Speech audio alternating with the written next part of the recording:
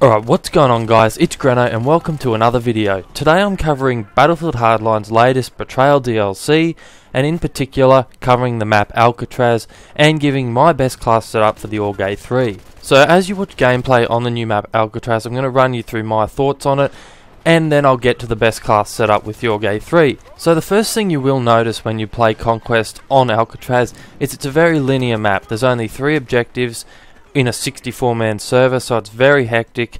But the map does provide quite a lot of areas for lots of players to hide. It is multi leveled, being a prison and all, and the jail cells in the middle, particularly on B, provide very good camping spots and or tactical positioning spots if you'd like. Um, like I said, it's very close quarters action and you're likely to run into someone within, you know, SMG shotgun sort of range fairly consistently. That being said, ARs, of course, in hardline with a uh, lower TTK do work, so there's no real drama there using any real weapon. In summary of the map, I'm not a big fan of it to be honest.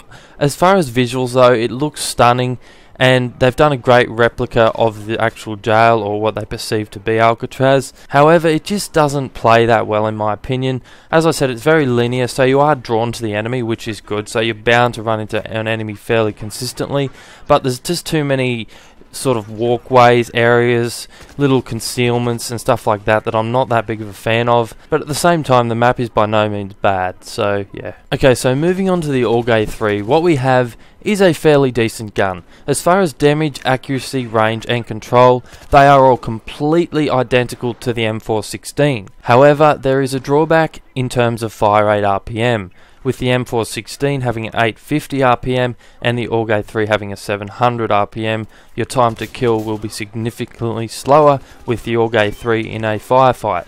So as far as handling and all those characteristics go, you essentially are using the M416, but the fire rate is different and that is what separates the two. So how can you equip this gun to make it feel the best it possibly can?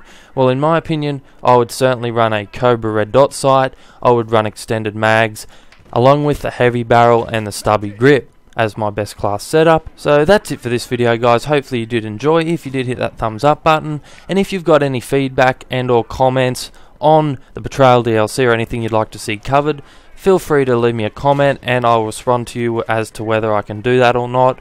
And yeah, so that's been it for me today, guys. It's been Grano, and I'll talk to you guys in the next video. Peace.